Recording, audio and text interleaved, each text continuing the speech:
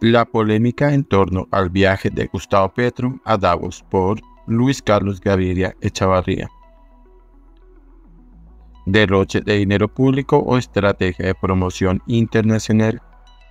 El presidente colombiano Gustavo Petro ha generado controversia al cambiar repentinamente su decisión de no asistir al Foro Económico Mundial en Davos, Suiza, a pesar de las previas declaraciones desde la Casa de Nariño que indicaban que no podría llegar a tiempo.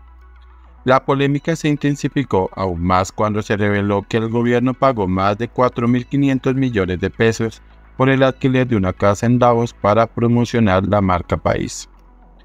Desde la presidencia inicialmente se argumentó que los tiempos no permitían la participación plena de Petro en los eventos del foro, ya que aún se encontraba en Guatemala después de la posesión de Bernardo Arevalo como presidente. Sin embargo, el mandatario anunció desde Guatemala que sí se desplazaría a Suiza en las próximas horas, contradiciendo las declaraciones previas de su propio gobierno. Un giro en la decisión de Petro se produjo en medio de acusaciones de un presunto plan interno para darle un golpe de Estado, lo que generó aún más desconcierto en la opinión pública. Desde la casa en Nariño se afirmó que no era posible el desplazamiento a Davos debido a problemas logísticos con el plan de vuelo, lo que llevó a la conclusión de que no se justificaba el viaje. La controversia se agravó cuando se reveló que el gobierno colombiano pagó más de 4.500 millones de pesos por el alquiler de una casa en Davos. A pesar de las críticas, el presidente Petro defendió la decisión explicando que la casa no era para su alojamiento ni el de su comitiva, sino para promocionar la campaña Colombia, el país de la belleza, durante el foro. El presidente enfrentó críticas directas, especialmente de la senadora María Fernanda Cabal, quien cuestionó el costo del alquiler y sugirió que se destinara el dinero a otras prioridades. Petro respondió argumentando que la inversión se traducirá en beneficios para Colombia al atraer turistas y fortalecer la inversión extranjera.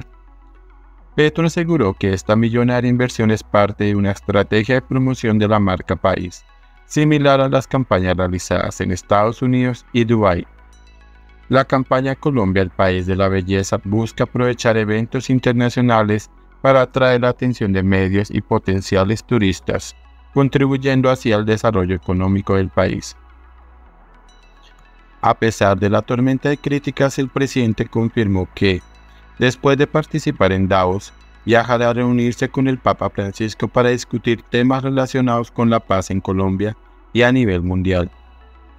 La situación deja a la opinión pública colombiana dividida entre aquellos que ven este gasto como un derroche injustificado de dinero público y aquellos que respaldan la estrategia de promoción internacional del país.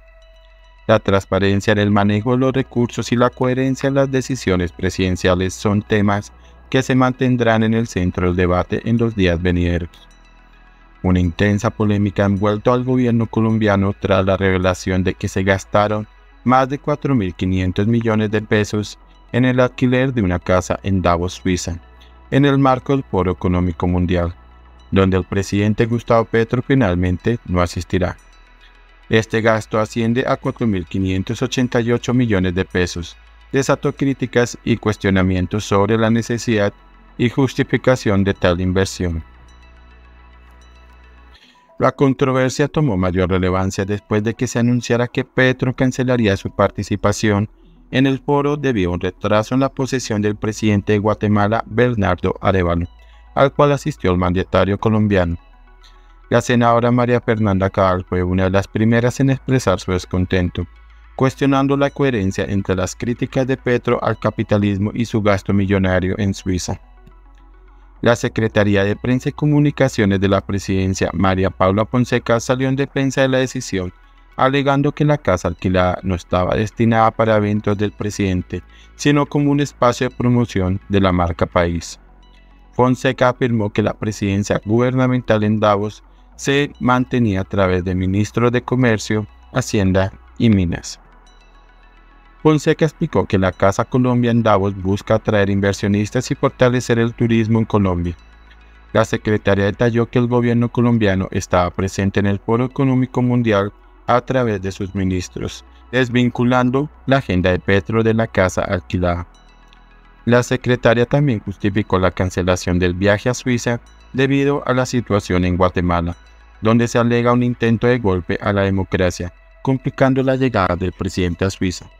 Se argumentó que, dadas las circunstancias, no se justificaba el desplazamiento para atender solo un evento. Gustavo Petro intervino para calmar la polémica, asegurando que la casa en no era para él, sino para promover el turismo en Colombia.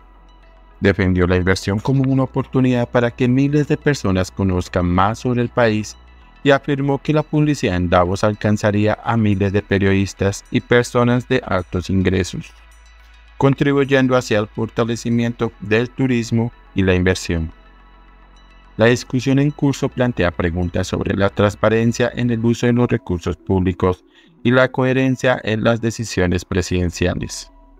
La percepción de los ciudadanos sobre la gestión del gobierno en asuntos económicos y de relación internacional será fundamental en los días venideros.